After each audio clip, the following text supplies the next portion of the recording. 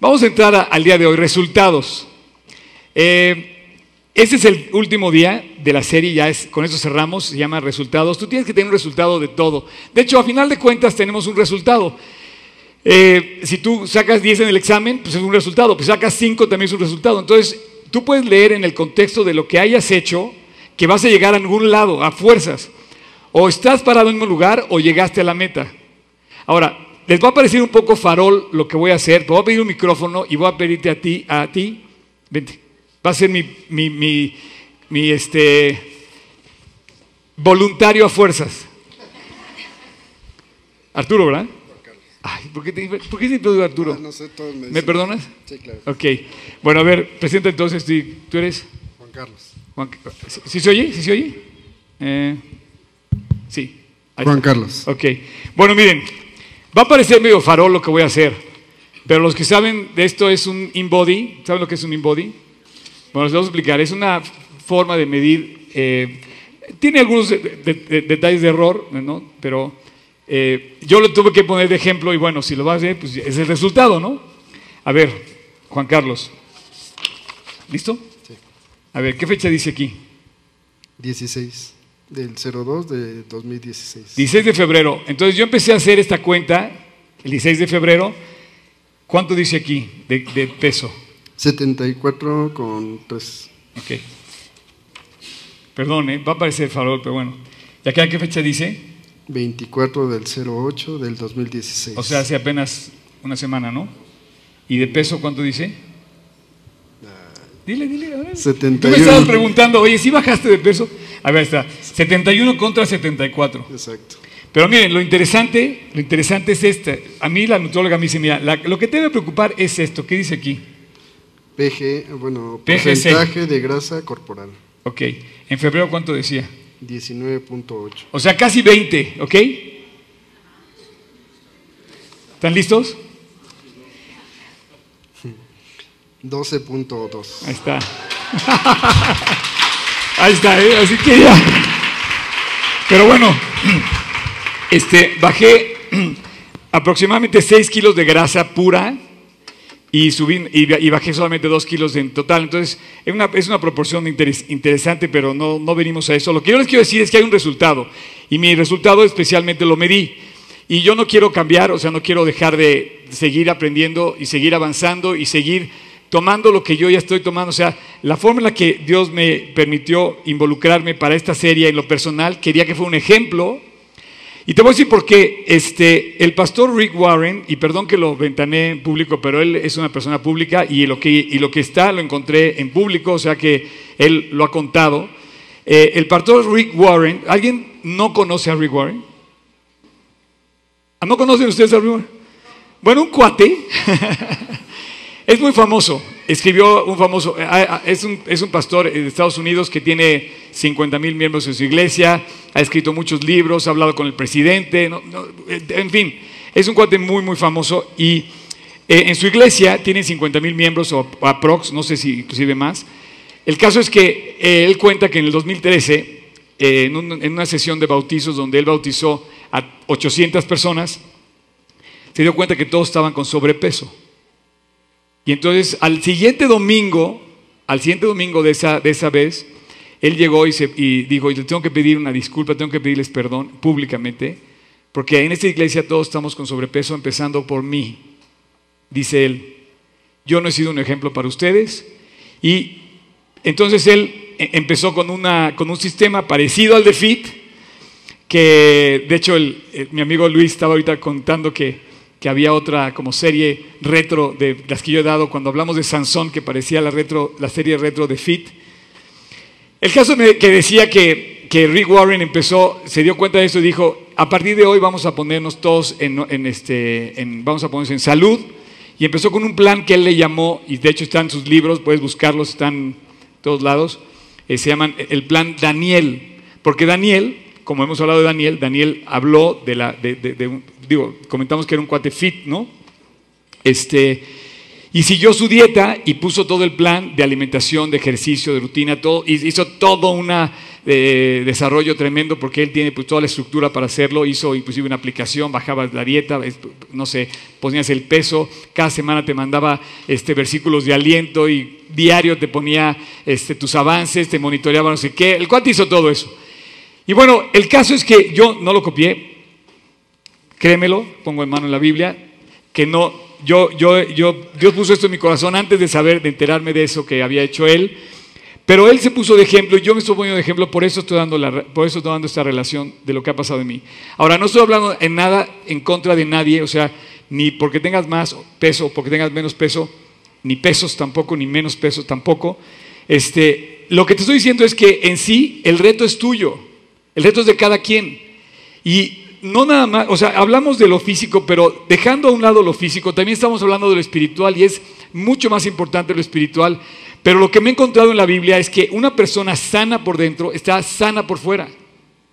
Hoy vamos a ver datos, resultados a lo que se refiere, como está inclusive comprobado por médicamente, está comprobado que si tú has hecho un esfuerzo físico, en general, tu vida en todos los aspectos también mejoró. Así es que comenzamos por esto, quiero decirte que eh, el, tema que yo tomé para esta, digamos, sesión de hoy, comienzo con un versículo de Hebreos, no sé si lo puedas poner, Tocayo. No, perdón, es este mm, Timoteo, segundo Timoteo. Cuando dice Pablo, hace una referencia a Pablo muy específica a cómo debemos luchar nosotros en la vida en la vida cristiana. Pablo está hablando de la vida cristiana, pero hace la referencia de la vida de un atleta. Ya lo habíamos comentado, dice, porque vendrá tiempo cuando no sufrirán, no sé si puedas subrayar, eh, creo que no puedes, ¿verdad? Sí. Ándale, checa nada más, wow, me sorprendiste, ahora sí. No sufrirán, el versículo continúa, la sana doctrina, porque teniendo comezón de oír, se amontonarán maestros conforme a sus propias concupiscencias. Puedes volver a poner no sufrirán. Esto es, esto es, muy semejante a la rutina física que tú estás, que tú, a la que tú te sometes cuando estás en un entrenamiento. Finalmente estás sufriendo. Y es más, hay hasta un dicho que dice, si, si no te duele, no sirve. ¿Por qué? Porque es hasta que llegas al sufrimiento, entre comillas, físico, cuando tu cuerpo está haciendo un esfuerzo adicional. Pero lo curioso es que hoy en día, ese esfuerzo, mira, si tú haces esfuerzo, cualquier esfuerzo que hagas, es una especie como de sufrimiento. Pero hoy en día el deporte está marcado y sigue siendo una regla de, ley que se cumple a lo largo de todos los tiempos. Un atleta es un atleta en el siglo primero eh, después de Cristo y hoy también. Pero para estar donde están se sometieron a, regímenes estrictos y tienen que en cierta manera sufrir ese entrenamiento. Ahora, no vayas a ser tú, como dice, fíjate, vuelvo, prende todo el versículo sino que teniendo comezón de oír, no, no, no, regresa tocayo, ahí, no, no, no, no, vende, ahí está. Porque vendrá tiempo cuando no sufrirán, ya vimos que no sufrirán, dice, sino que teniendo comezón de oír, se amontonarán maestros conforme sus propias concupiscencias. Puedes poner estas dos, no sufrirán, subraya, no sufrirán y propias concupiscencias. Está hablando Pablo de ese esfuerzo del creyente que va a querer como aconsejarse la ideología de no pasa nada, como un amigo que me decía, ahora que fue por su kit, me dice, no, yo no tengo ese problema. Le digo, no, sí, tienes que ponerte ya a hacer ejercicio, ¿no? me dice, no, yo no tengo ese problema. Le digo, esa es una de nuestras tres más comunes excusas que tenemos, que lo vimos en la serie Detox, ¿no? No pasa nada, yo, yo no tengo ese problema. Y conforme a nuestros propios placeres, pensamos que vamos a avanzar haciendo un esfuerzo físico. El esfuerzo físico te lleva realmente a un sufrimiento y en la vida también una prueba te lleva a una, serie de estrés, a un momento de estrés, o una prueba te lleva a demandar más de ti.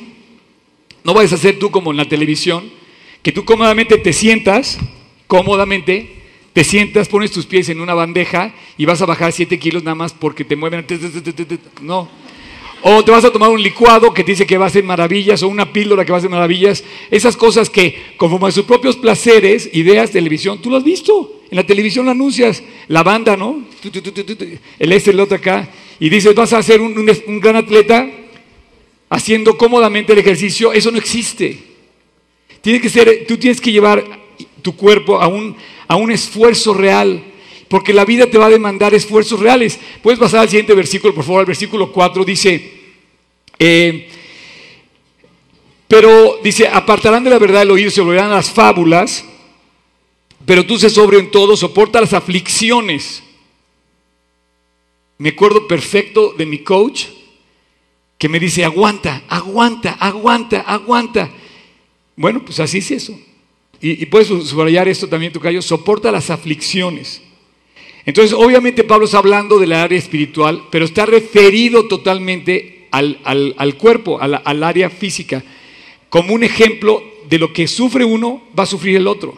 Entonces dice, soporta las aflicciones, haz obra de evangelista, cumple tu ministerio.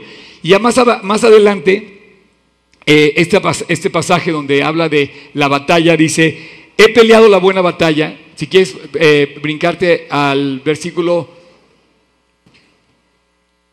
7, dice, he peleado, y ahí está dice, como creyente he peleado la buena batalla de la fe. He acabado la, carrera, he guardado la fe. Entonces, la referencia va paralela, la del atleta con un creyente. En la vida vamos a enfrentar las mismas cosas. Por lo tanto, el resultado que hoy te quiero decir es que si tú has cumplido también físicamente con un esfuerzo y has sido sometido a un esfuerzo de entrenamiento, tú mismo te has de haber dado cuenta que tu esfuerzo realmente cumplió, llevó a cabo el beneficio en tu vida. De hecho, médicamente vamos a dar unos datos ahora, cómo se está ligado, ¿verdad? El que tú hayas librado un esfuerzo físico te permite también librar esfuerzos en la vida de otro tipo. Y tú puedes ganar o perder. O sea, finalmente tu resultado mide si ganaste o perdiste. Está medido. Puedes leer el el contexto como quieras, pero va una recompensa premiando la ganancia y hay una pérdida que se resalta con, la, con que no recibes la recompensa, ¿no? Así es que, eh, y en todo esto, la Biblia, puedes, puedes poner, por favor, Tocayo, eh, Proverbios, está llena de referencias así.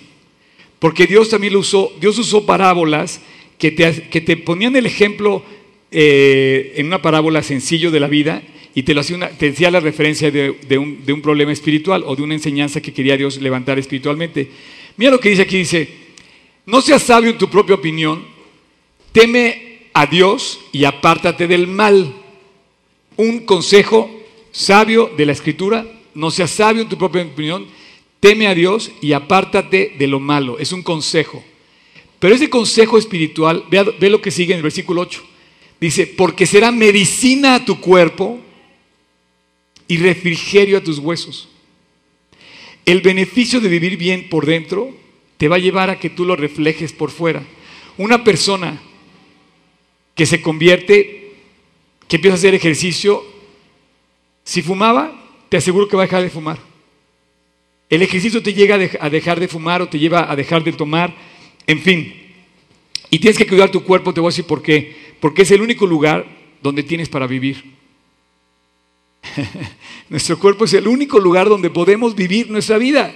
O lo cuidamos o vamos a batallar muchísimo. Y bueno, lo que tú logres, las pérdidas o las recompensas, vas a tener en otras áreas de tu vida también afectadas, para bien o para mal. Lo difícil de un entrenamiento intenso hace que las cosas difíciles de la vida se vuelvan más fáciles. ¿Por qué? Porque se ha sometido a una rutina, a un régimen de tal forma que te hace cumplir con el esfuerzo en, lo que vienes a enfrentar después en la vida.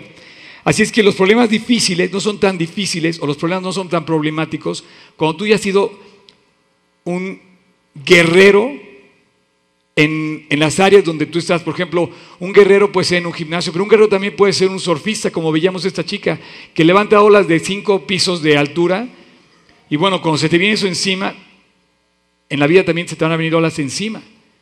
Y con la misma fe con la que entras a la ola como atleta para decir, Dios, sácame adelante de esta montaña, con la misma fe vas a enfrentar en la vida el reto, por más alto que parezca y por más imposible que parezca de librarlo. Eso es la fe. Es la confianza que tenemos en Dios que nos permite mantenernos. Así es que el primer resultado que yo creo, aparte de que ya comenté que vivimos un tiempo de unidad muy bonito, eh, yo creo que el resultado no va a venir a tu vida si no eres fiel, si no eres constante, si no te mantienes firme. Tú no puedes correr, ayer no podíamos correr este, un kilómetro y pararnos, aunque bajes el paso, pero tienes que llegar a la meta. El creyente está llamado a ser constante, a ser fiel, a ser constante. Y el atleta también. Tú tienes que ser constante para llegar a donde quieres llegar y tienes que mantener eso como un estilo de vida. Esto de la vida cristiana es tal cual como un atleta, tienes que mantenerlo para hacer un estilo de vida. Eh, ¿Quieres lograr un resultado en serio? Tienes que mantenerte fiel en lo que sea. ¿Quieres lograr un resultado en serio en el gimnasio? Tienes que mantenerte fiel. Pero tienes que, tienes que, ¿quieres lograr un resultado en serio en tu matrimonio? Tienes que mantenerte fiel. En toda la vida la fidelidad es indispensable. Y quieres lograr resultados positivos, la fidelidad, la constancia, el mantener los principios, el ser fuerte por dentro y por fuera, te va a llevar a obtener esos resultados. Resultados verdaderos, resultados de adeveras. Así que si te caes, te levantas y sigues, como en la carrera. Y nos va a pasar que vamos a caer, que vamos a tropezar, tenemos que levantarnos y continuar. Y de hecho, déjame decirte algo, tú vas a poder ver que a lo mejor un día lo lograste, bueno, al día siguiente es igual, volverlo a hacer. No vas a poder leer la Biblia un día, no, tienes que volver a leer al día siguiente. Hoy que me vería para acá, también, también leí mi Biblia y hoy se me hizo tarde, fíjense, les quiero confesar. No lo confesé en la mañana, pero hoy llegué cuando estaba empezando el worship y yo ya, no, no, no, no. Pero ¿saben por qué se me hizo tarde? A todo el staff les digo. Porque estoy involucrado en la apertura de la nueva célula que se va a abrir de G36 en Nueva York. Ahora dices, oye Oscar, está muy fancy Nueva York, pues sí, pero no sé por qué. A mí me metieron en ese tema y a mí se me hace increíble comenzar un trabajo para hablar de Cristo en una ciudad como Nueva York. Entonces hoy me habló una persona que está allá y me dice, eh, oye, ya encontré el lugar o algo que podía ser el lugar. Y yo decía, pues entonces me puse a platicar con él hasta Nueva York a las 7 y media de la mañana y, cuando me di cuenta ya, ya me tenía que venir, dije, no puede ser. Pero mientras Dios me tenga predicando la palabra, aquí, en donde sea, la verdad, y abriendo oportunidades para predicar la Biblia, se me hace precioso. Entonces, todo esto, eh, si hoy leíste, te decía yo, tú tienes que volver a leer mañana. Y si mañana leíste, tienes que volver a leer. Y si hoy oraste, tienes que volver a orar mañana. Y hoy que leí la Biblia, que estaba leyendo cuando pasó todo esto, decía Dios, qué preciosa tu palabra. Entonces ya no me pude venir a mi bicicleta porque estaba lloviendo. Entonces ya no pude venir a mi bicicleta, me vine en un Uber. Y le dije, Dios, ¿cómo voy en un Uber a una plática de la Biblia? Y no voy a invitar a ese señor a que pase a la, plática, ¿no? Entonces empecé a hablarle de Cristo en el camino. Y, este, y se me hizo increíble porque de verdad que tengas tú la oportunidad de compartir con la gente de Cristo es lo más hermoso que puedes hacer. Así es que estás aquí por primera vez, venimos a estudiar la Biblia, venimos a hablar de Cristo, venimos a compartir de Cristo. Y mi intención hoy es cerrar una serie que hablamos del deporte con la Biblia, pero estamos hablando de Jesucristo. Y bueno, eso no tiene que ver con tu ser fuerte por fuera, porque puede haber una persona muy fuerte, la Biblia te lo enseña también, como Sansón. Y Sansón era fuerte por fuera, pero se volvió un débil porque dejó de, vivir para Dios. Entonces, esto tampoco te limita en tu físico, no, el corazón es más importante. Lo que traes adentro es más importante. Y, y Sansón, siendo todo un fortachón, cayó y perdió todo por no haber cuidado su relación con Dios y por no haber mantenido su fidelidad a Dios. Así es que, eh, bien dice Hebreos, Hebreos 12, me encanta esto porque es la relación directa, ve lo que dice, dice, por tanto, nosotros también, teniendo en derredor nuestro tan grande nube de testigos, despojémonos de todo peso y del pecado que nos asedia y corramos con paciencia la carrera que tenemos por delante. O sea, dice Sansón, bueno, perdón, dice, la carrera es una carrera de la vida, dice, corramos con paciencia la carrera que tenemos por delante. ¿Puedes poner, subrayar la carrera, Tocayo? Subraya la carrera, subraya peso y pecado y subraya, corriendo. A ver si eso está más difícil, a ver si lo puedes hacer. Una, dos.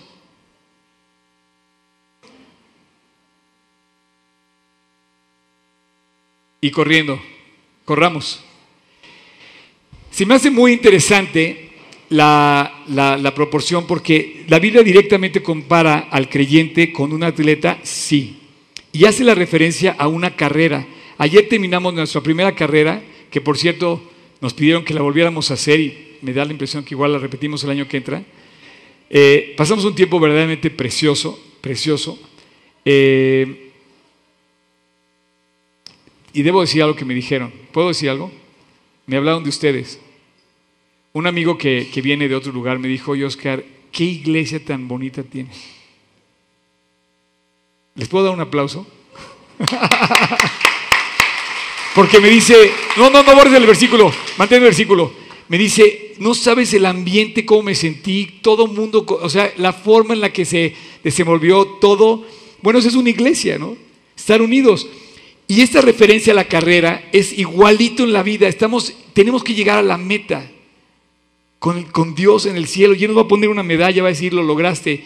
Bien hecho, buen siervo y fiel. En lo poco fuiste fiel, en lo mucho te pondré. Entra al gozo de tu Señor. Lo lograste, corriste con paciencia la carrera. Mantuviste tu fidelidad todo el día, día tras día, paso tras paso, kilómetro, metro tras metro. Avanzaste. Y dice, despojándonos de todo el peso que nos asedia. El corredor, entre más atlético se vuelve, cualquier deporte va perdiendo peso. Se va haciendo un cuerpo más atlético. Y el, y el creyente, entre más fiel se vuelve, va perdiendo el peso del pecado que nos asedia y que nos lastima y que nos hace eh, tanto daño el pecado. Y más adelante al final dice, por lo cual Levantad las manos caídas y las rodillas paralizadas. Literal, te dice, levántate, muévete, empieza ya.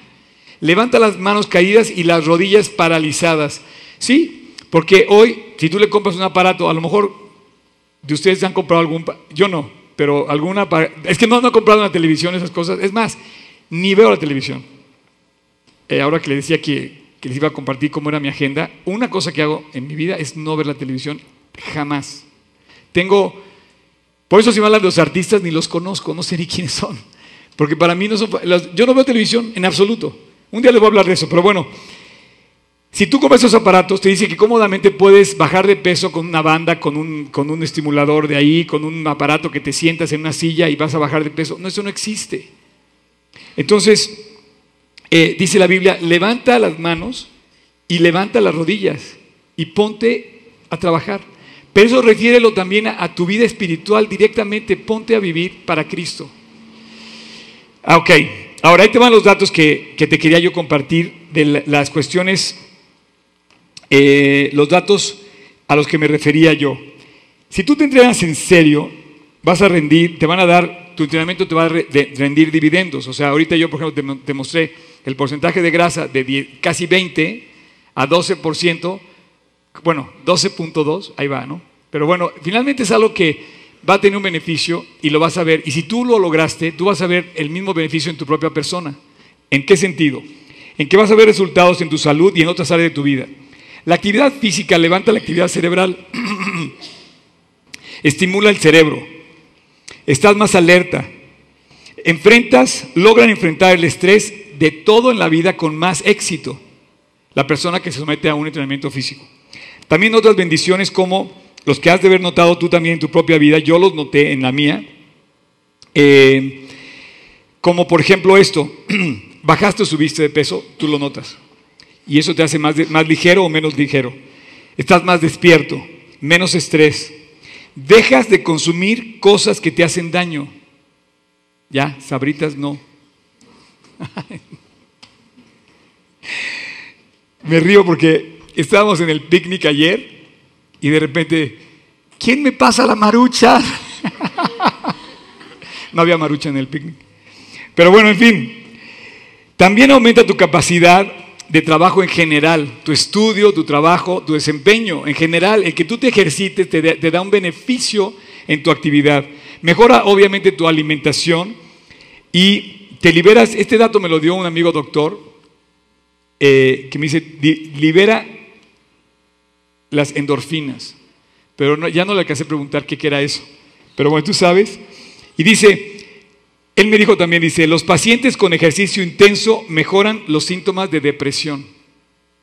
O sea, automáticamente tienes un beneficio. Por eso Dios te dice que te ejercites en la piedad, que te ejercites, dice, aunque dice el, versículo, para poco es provechoso, dice, tú ejercita tu vida, pero ejercítala en el amor de Cristo y te va a dar ese beneficio. Entonces, no es que diga no hagas ejercicio, es que lo ejercites dando la prioridad al amor hacia la gente y hacia Dios. Beneficios. Previene y ayuda en la diabetes. SAS. La diabetes creo que es la enfermedad number one. Me estaban platicando un amigo que tiene datos de las compañías de seguros, el, el problema tan grave que es la diabetes hoy en México. Eh, ayuda en, con las alteraciones cardíacas, los infartos, la hipertensión y la osteoporosis. El ejercicio quizá eh, nos da eh, una, una, vida más sana en, en, en áreas, pero quizá el beneficio más grande está referido a algo que yo quería mostrar, porque normalmente cuando tú haces un ejercicio profesional o lo haces bien, te dejas guiar por un coach. O sea, por ejemplo, a mí me dijeron, me hicieron consultas de qué comer, le dije, ¿sabes qué? Tienes que ir a ver a alguien porque tu problema para comer no es lo mismo que el mío. Y no es que tengas un problema o que tengas una dieta, es que tienes que hacer un régimen donde simplemente tú comas, pero comas bien. Y yo no te puedo recomendar qué comer, qué subir, qué bajar, porque más bien tienes que ir a ver un especialista. Si vas a entrenar, por ejemplo, decíamos del surf, pues tienes que ir a ver un cuate que te enseñe. Si vas a entrenar a una, yo entrené natación, tenía un coach, coach, entrené, hice cuatro maratones, tenía un coach, y ahora que estoy yendo al gimnasio que nos patrocinó aquí a Smart Performance, por cierto, muchas gracias eh, Juan Guillermo por todo el apoyo. Este, aquí está uno de los socios del gimnasio. Y bueno, también tengo un coach. Entonces, yo creo que el beneficio más grande que tienes cuando haces un ejercicio intenso profesional es el coach. Porque sin eso no podrías. Curioso, porque aquí es donde empiezan los reclamos. Yo, el coach siempre te pide más. Te invita al, al esfuerzo, un esfuerzo intenso y un esfuerzo de sufrimiento. Un buen coach te va a llevar a más, te va a pedir una extra, te va a pedir siempre más de lo que puedes dar. Como Dios, Dios te va a llevar a que te muevas, a que nos levantemos y a que hagamos más. Una máquina como las que venden en, TV directo, no, te va, no tienes problema porque Él no te va a decir, no te va a exigir lo que te, lo que te debe exigir un coach profesional. Entonces, eh, la lección más importante para mí de un esfuerzo físico es aprender de mi coach y saber que él sabe lo que yo no sé y que si quiero llegar a algo, él me va a decir cómo hacerlo. Y ese es Cristo. Por eso nuestra camiseta dice, lo mejor, mejor, el mejor coach es Dios, porque Él nos dio la instrucción en su palabra y Él nos tiene preparado lo mejor y quiere que hagamos lo mejor y que Dejemos una vida sedentaria y de comodidad y nos levantemos para Él. Pero aquí es donde comienzan, no sé si has visto, los reclamos. Somos, estamos haciendo 10 lagartijas, nos piden 15. No, ¿qué pasó? No. Nos piden la tarea para mañana. No, profesor, ¿qué onda? Y empiezan los reclamos. Y los reclamos en la vida, la verdad, lo recibe igual el maestro y tú vas a avanzar tanto o menos. Pero se me hace muy significativo cómo reclamamos y cómo empezamos a amarrar al coach de las manos, ¿no? Empezamos, no, no digas, no sigas. Oye, ¿quieres avanzar? Pues deja de hacer mi chamba. Y tú haz la tuya. Y mi chamba es llevarte a ti un esfuerzo mayor. Y la chamba de Dios es que entreguemos, que corramos con paciencia, como dice, sufre penalidades por Jesucristo. Ahora, no hablo de atletas de alto rendimiento ni atletas olímpicos, hablo de que tú a tu nivel, en tu nivel de, de esfuerzo, de tu propio nivel de entrenamiento, tú des un poquito más. Nada más caminas una cuadra a tu alrededor, bueno, la próxima vez camina dos o tres y empieza. Ahora, estudios médicos, como te decía, demuestran que hacer ejercicio ayuda a disminuir los efectos del estrés en el sistema nervioso y que puede traer consecuencias positivas en la salud. No ejercitarse a ejercitarse sí trae un beneficio. Tú lo quieres escuchar, es para ti.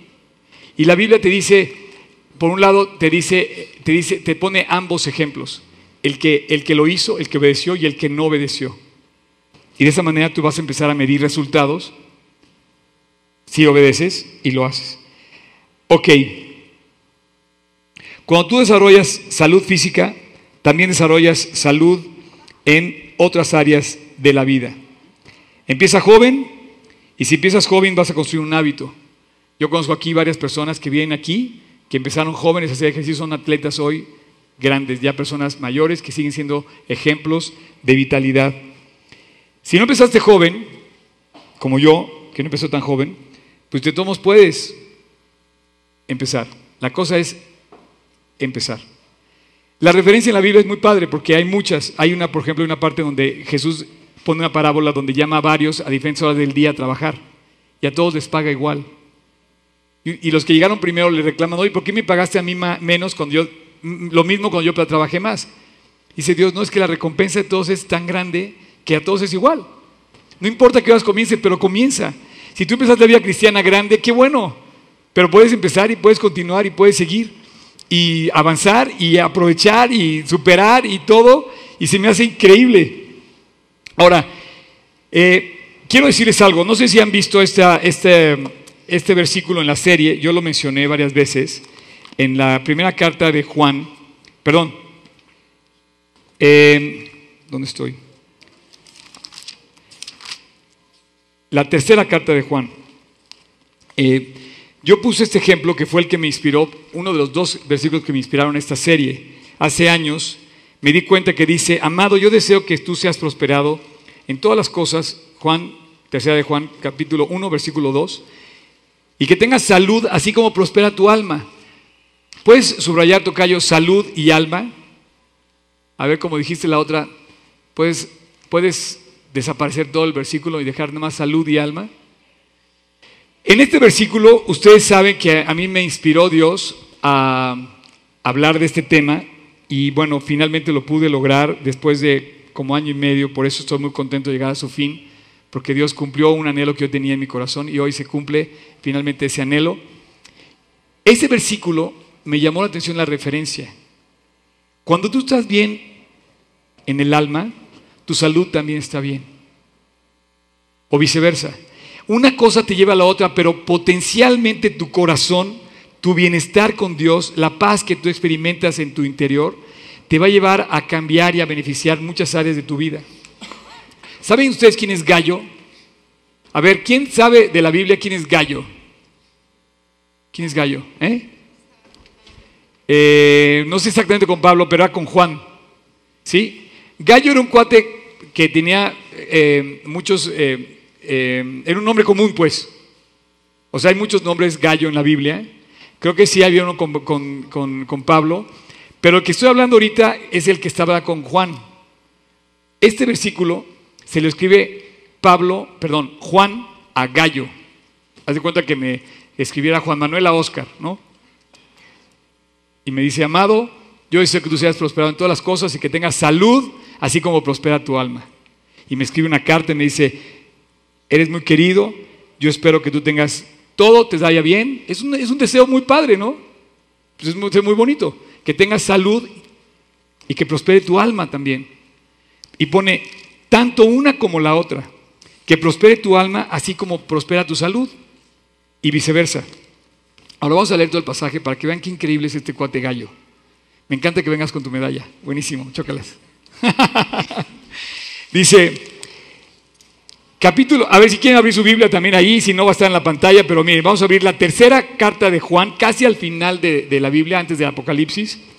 Dice, el anciano Agallo, el amado, a quien amo en la verdad. De entrada, no, espérame, espérame, vas muy rápido, cham. O sea, Pablo, perdón, Juan Agallo, dice el amado. Me llama la atención porque este chavo, Juan se pone como el anciano y dice, le escribo a Gallo. La tercera carta de Juan se la escribe a tres personas y a la primera que menciona es a Gallo. Y le dice a Gallo, a mano, a amado hermano, a quien amo. En un versículo repite dos veces que lo ama. Este cuate era un cuate extraordinario. Fíjate, vamos a seguir leyendo.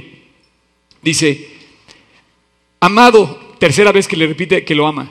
Yo deseo que tú seas prosperado en todas las cosas y que tengas salud así como prospera tu alma. Versículo 3. Pues mucho me regocijé cuando vinieron los hermanos y dieron testimonio de tu verdad, de que de cómo andas en la verdad. No tengo yo mayor gozo que este, el oír que mis hijos andan en la verdad. Amado, otra vez, le vuelve a decir que lo ama, fielmente te conduces cuando prestas algún servicio a los hermanos, especialmente a los desconocidos. Me encanta esto porque este cuate era tan extraordinario que saludaba al que no conoce. ¿Se acuerdan que habíamos puesto esa orden aquí? Esa, esa, esa, saluda al que no conoce. ¿Alguien está sentado, alguien que no conoce, lo puede saludar, por favor? Son como gallo ustedes. Buenísimo. Hasta abrazo le tocó. Buenísimo. Bueno, me encanta esto porque entre paréntesis dice que él, Gallo, era un cuate que le prestaba servicio inclusive a los no conocidos. Tengo unas historias increíbles sobre esto, pero hay que hacer, hay que ser como Gallo. Bueno, continuando dice, inclusive a los desconocidos, versículo 6, los cuales han dado ante la iglesia testimonio de tu amor y, y dice, y harás bien en caminar, en encaminarlos como es digno de su servicio a Dios para que continúen su viaje. Increíble. Este hombre, este gallo, era un cuate que lucía, reflejaba el amor de Cristo. Dice que posiblemente es la primera referencia a los viajes misioneros de, pastores, o de, bueno, no, no sé pastores, pero misioneros que llegaban a otro lugar, los recibía él y les hospedaba y les daba de comer y les daba para sus necesidades. Hay una referencia en cómo él trataba, dice, para que continúen su viaje. Quiere decir que eran misioneros que iban de un lado al otro y era recibido por este hombre y los trataba bien. Lo que te quiero decir es que este hombre era un hombre fit. Fit por dentro y fit por fuera. Se lucía su fortaleza. Era un cuate que era agradable estar con él. La pasabas bien. Si no te conocía, él se presentaba, oye, ¿cómo estás? Qué gusto conocerte. Y de repente empezabas a sentir el amor de Cristo de una persona desconocida. ¿Por qué? Porque, o sea, porque te habla de Cristo. Y entonces en todo esto que acaba de mencionar, menciona a un hombre cordial y generoso. Un problema que tenemos nosotros es que podemos ser cordiales pero no generosos. o viceversa. Puedes tener todo lo contrario, una persona que simplemente dice no quiero saber nada y no me voy a meter con nada para no perder mi comodidad y no arriesgar nada. Gallo era un hombre cordial y generoso y es importante fijarse en tres cosas que él describe de Juan de Gallo. En primer lugar, describe a un hombre que tenía un alma fuerte, subraya alma fuerte, y eso es lo que hizo que Juan sintiese profundo aprecio por él. Ahora voy a citar este texto que leí de una consulta que hice y la voy a citar tal cual, ¿ok? Sobre Gallo, para que vean qué cuate tan increíble. Pongan atención. Ahí les va. También ustedes que me están escuchando en internet, dice, creo que estas palabras son palabras maravillosas para decírselas a una persona. Amado, fielmente te conduces cada vez que oigo de ti, das testimonio de la verdad, que andas en la verdad, vives sano por dentro, sano por fuera, qué buena onda. La verdad, qué padre decírselo a una persona. Es una persona sana, es una persona agradable. Es cuando es como tú encuentras una persona en la escuela y dices, oye, qué cuate más agradable ese chavo. Pues obviamente estás hablando bien de él. Decírselo a alguien es un honor. ¿No es así? Ojalá que seas igualmente fuerte en cuerpo como lo eres en el espíritu. Sería interesante aplicar esta prueba a las personas actualmente. Si su aspecto físico fuese un reflejo de su, estado espiritual, ¿qué aspecto tendrías tú? ¿Cómo serías tú? ¿Una persona robusta, fuerte y viril? ¿O una persona, dice aquí, o un o usted sería un debilucho y decrépito que apenas si se puede mover. Este cuate actuaba, se movía, iba a buscar cómo ayudar, andaba siempre presto para hacer cosas. Yo me imagino que Gallo era un cuate fit, igual que Juan también. Gallo era la clase de persona acerca de la cual podía decir el apóstol, ojalá tu vida física fuera tan fuerte como tu vida espiritual, pero era una cosa tan fuerte como la otra. Entonces yo creo que Gallo describe un personaje al cual nos tenemos que parecer activo, dispuesto, cordial, generoso, servicial, eh, que comparte el Evangelio. Ahora, su vida, dice, era un testimonio de la verdad y lo que impresionó a Juan no fue el hecho de que conociese la verdad, porque lo dice, sino que andaba en la verdad y que vivía en la verdad. Y eso a mí se me hace bien padre que podamos decir que andamos en la verdad. Era generoso, y la verdad, pienso yo que una persona generosa gana, gana mucho más que una persona que quiere almacenar para sí mismo. Como dice el proverbio, que llegarás a, a ponerle nombre a toda la tierra tú solo. Ahora, ¿saben quién es Diótrefes? Diótrefes. Despuésito de Gallo, habla de Diótrefes. ¿Cómo dijo? Desástrefes. Fíjense, ahí mismo, en esa tercera carta de Juan, Juan cita tres personas, a Gallo, a Diótrefes y a Demetrio. Entonces, yo estaba leyendo y me quedo ahí en el versículo 6, pero si me vinco al versículo 9, tocayo, por favor, dice, yo he escrito a la iglesia. Pero Diótrefes, Diótrefes, al cual le gusta tener el primer lugar entre ellos, no nos recibe. Por esta causa, si yo fuere, recordaré sus obras que hace parloteando con palabras malignas contra nosotros, y no contento con estas cosas, no, no recibe a los hermanos, y a los que quieren recibirlos, se los prohíbe. O sea, todo lo contrario que Gallo. O sea, alguien le quiere hacer el favor a una persona y dice, no, no le hagas el favor. Y, dice, y los expulsa de la iglesia por hacer el favor. A mí se hace bien feo esta persona. Desastre. Mientras el otro era una bendición, este era un desastre. Y en la iglesia, de verdad, hay muchos gallos y espero que haya muy pocos o ningún diótrefes. Porque es en serio. O sea, hay muchos gallos, hay muchas personas que son generosas, que dan de más. Es más, hoy en la mañana, hace mucho, creo que es la primera vez o la segunda, que llueve al iniciar la plática. Fue increíble bajarme del Uber y le digo, ay, ¿dónde están los paraguas? Y dije, ¿por qué tantos paraguas están llegando? No, era nuestro staff que tenía tres, cuatro, cinco, seis, creo que eran siete paraguas, esperando que la gente se bajara para recibirlas con el paraguas.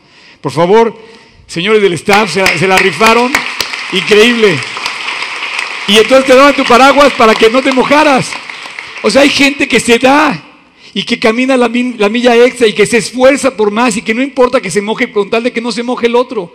Y hay muchos gallos en el staff de GT6 Polanco y la verdad, ayer lo dijeron, y qué bonita iglesia, corrió contigo ayer, o sea, es increíble, de verdad. Pero yo espero que los diótrefes no anden por ahí.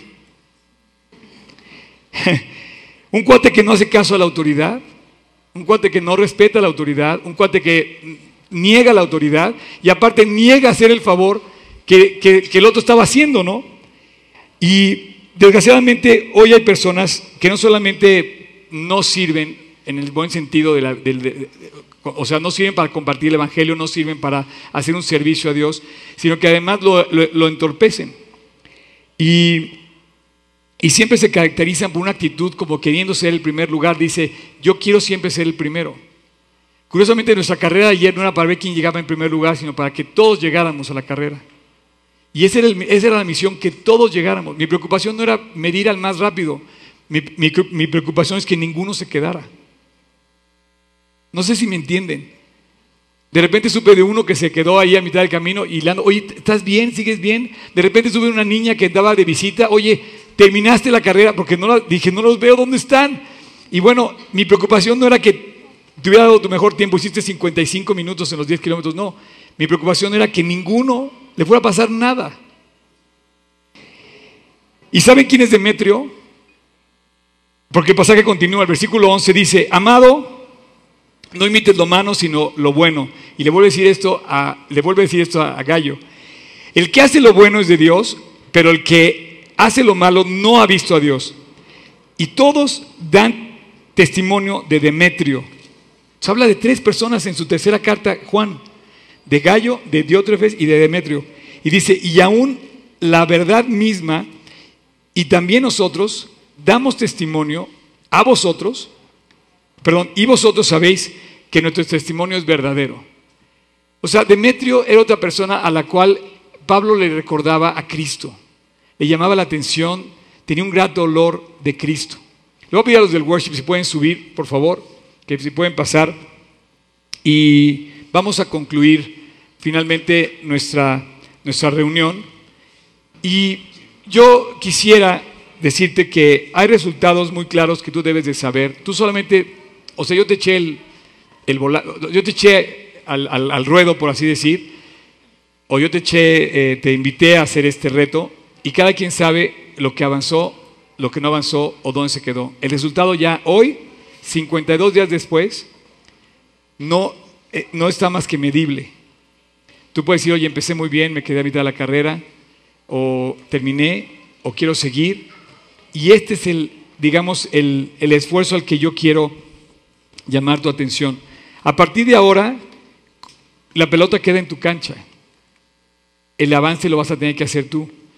lo que aprendiste, si lo mantienes por más de 20 días, otros dicen que por más de 40 se vuelve un hábito. Si tú aprendiste a comer bien, lo vas a seguir manteniendo. Y tú aprendiste a aceptarte, a valorarte, a cuidar tu cuerpo y a mejorar lo que tú haces, lo vas a seguir haciendo. Y no estoy diciendo que seamos atletas olímpicos, estoy diciendo simplemente que vivamos la realidad de Cristo en nuestras vidas día con día, manteniendo fiel lo que hacemos, haciendo nuestra, nuestra vida limpia por dentro y por fuera. Y bueno, llegamos al final, tú solamente sabes si llegaste a la meta, yo te debo decir que me siento satisfecho con el esfuerzo que hice, te lo acabo de mostrar en papel. No, no, me, no me siento que llegue a la meta porque quiero continuar y quiero seguir y quiero avanzar y quiero que se convierta en una forma de vivir en mi vida. Pero sí me siento satisfecho de haber sido yo un ejemplo en el, en el sentido correcto, ¿no? Y la verdad te quiero dar gracias. Quiero dar gracias porque durante este tiempo eh, Dios cumplió un anhelo en mi corazón de, muchos de muchos años, ¿no? O sea, yo nunca había, a mí se me gustó correr y nunca, había, nunca me había puesto una, una medalla de una carrera que yo mismo hubiera organizado junto con ustedes. Gracias por permitirme organizar una carrera juntos. Se me hace muy padre haber corrido como equipo, como amigos, como hermanos, como iglesia. Eh, gracias por aguantarme, porque lo que yo te canté durante esas nueve semanas fue mi experiencia personal. Ya saben cómo soy. No están descubriendo, no, es que Oscar vive. No, no, no, así soy. Como me viste aquí. Te he contado cosas que a veces digo, hijo, no debía haber dicho esto. Pero eso es lo que, eso es lo que soy yo. Sé que pude haber sido mejor, o ustedes pudieran haber hecho mejor trabajo, o puede haber mejores personas que nosotros. Pero Dios no está buscando buenos o mejores personas. Está buscando corazones que vayan que quieran seguir a la meta, que quieran avanzar. O sea, Dios está buscando atletas. Dios está buscando personas que quieran llegar a la meta. Porque a lo mejor un atleta de alto rendimiento no quiere seguir. Pero ahí está la abuelita que dice, yo sí quiero llegar hasta el final. Te quiero dar gracias porque he escuchado las cosas más increíbles que ninguna serie, de ninguna cosa que he hablado yo jamás en mis 37 años he recibido. Te quiero dar gracias por todo el apoyo que la verdad, este, no sé, la gente que trabaja conmigo para hacer todo esto, increíble. Y de repente cuando salía algo, de repente votaba y salía, ¿no? Y entonces pudimos poner videos, pudimos poner frases, pudimos poner dibujos, pudimos poner este, comentarios, pudimos, inclusive nunca habíamos logrado que la gente extra, los, los nutriólogos que participaron, el gimnasio que participó, nos donaron manzanas que después, ayer andamos regalando manzanas por todos lados, nos dieron apoyo para hacer las pulseras, para hacer las medallas, para hacer las camisetas. Bueno, dices Dios, qué increíble es tu iglesia corro la mejor carrera y la estamos corriendo juntos. Somos compañeros de milicia y vamos corriendo juntos la carrera. Y Dios me permitió a lo mejor correr con algunos no tan buenos, pero son, son mis compañeros y esos tenemos que llegar a la meta. Te quiero dar gracias porque la verdad todo lo que me escribieron, que fue prácticamente el 100% de los comentarios que he recibido, eh, han sido muy alentadores. Te quiero dar gracias por haberme creído y de repente empezar a hacer cosas que nunca habías hecho para ponerte mejor. Te quiero dar gracias por ayudarme a compartir la Biblia, a compartir el Evangelio. Y te quiero decir que la carrera continúa hasta llegar a la meta. El día que Dios nos ponga la medalla a Él, al llegar al cielo, y nos diga, bien hecho, buen siervo y fiel, Fíjate qué curioso. Subraya. Dónde te va a decir fuiste un atleta. Te va a decir fuiste fiel. Y una persona fiel realmente es un guerrero que se mantiene firme y constante. Vamos a ponernos de pie, por favor. Vamos a dar gracias. Padre, muchísimas gracias por esta mañana. Y gracias por este final de esta serie en donde estamos llegando tan solo a una etapa más del camino de nuestra vida espiritual. Ha sido precioso lanzar la invitación y ha sido preciosa la respuesta. Familias, papás, hijos, niños, grandes, chicos, todos, queriendo correr la carrera por ti. Señor Jesús, llévanos a todos adelante. Dejando a un lado lo físico, llévanos de la mano, del corazón, hasta llegar a la meta que es estar contigo en tu presencia el día que nos llames. Gracias Jesús por caminar con nosotros cada paso. Vela tú nuestro crecimiento. Sigue velando por nuestra obediencia, nuestro coach que eres tú. Gracias Dios. Te amamos Cristo. En tu nombre te lo pedimos.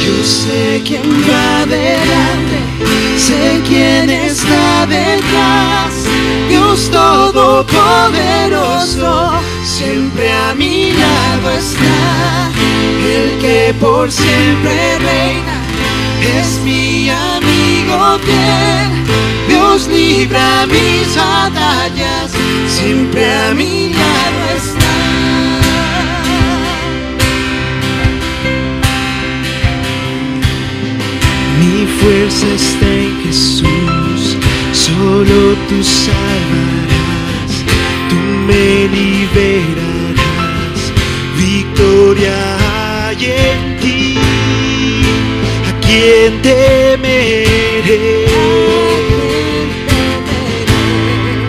¿A quién temeré? Yo sé quién va delante, sé quién está detrás. Dios Todopoderoso, siempre a mi lado está. El que por siempre reina es mi amigo fiel. Dios libra mis batallas, siempre a mi lado está. Nunca nada se me opondrá. Todo en tus manos siempre está. Tus promesas yo me aferraré. Eres fiel,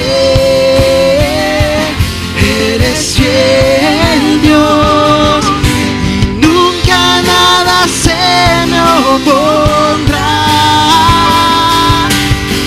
Todo en tus manos siempre tus promesas yo me aferraré. Eres fiel, eres fiel Dios, eres fiel.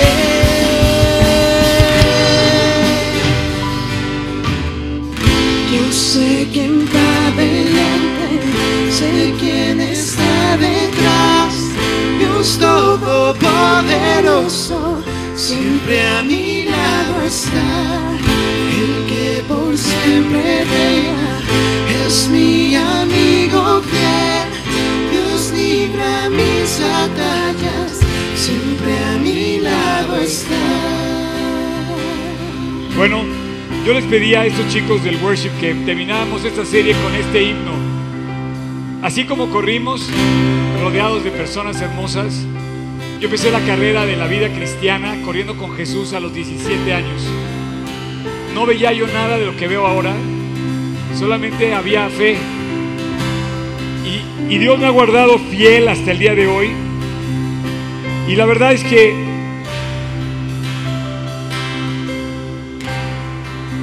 le, les quería yo decir esto. Estoy seguro que lo que viene adelante es precioso. Porque sé que atrás ha caminado conmigo Jesús. Fiel de fieles, rey de reyes. No tengo nada que temer porque tengo el testimonio que Dios me ha dado de haberlo visto trabajando en mi vida y en la vida de todas las personas. Sé que ha caminado conmigo y sé que Él va adelante. Eh, Quiero terminar la serie con esta canción, quiero volverla a cantar con ustedes, pero no quisiera irte, que te vayas, si estás aquí por primera vez, a veces no los alcanzo a ver a todos, y decirte que la clave de esto no está en mí, no está en un gimnasio ni en un esfuerzo que hagas para lograr bajar de peso o, lo que, o hacerte más fuerte. El secreto de todo lo que hay en la vida se llama Jesucristo. Si tú te vas de aquí sin Él, te vas igual como llegaste y no va a cambiar nada en tu vida. Y es más, olvídate que estés fuerte, estás muerto en delitos y pecados.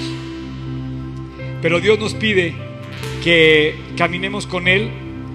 Y yo quisiera que no te fueras sin, o sea, con alguna duda o sin que te vayas sin Él, ¿no?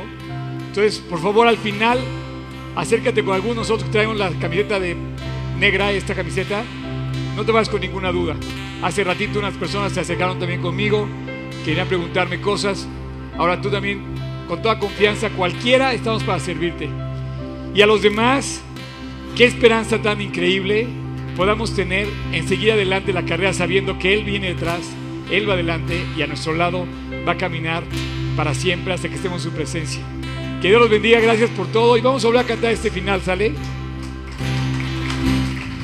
Yo sé quién va delante, sé quién está detrás. Dios Todopoderoso, siempre a mi lado está. El que por siempre reina, es mi amigo fiel.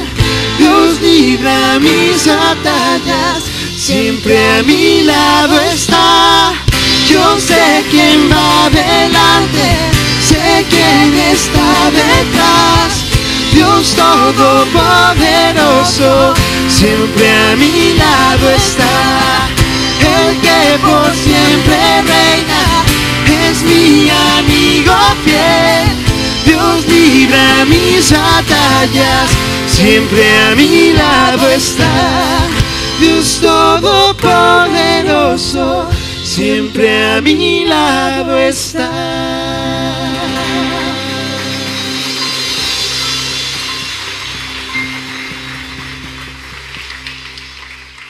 Dios los bendiga.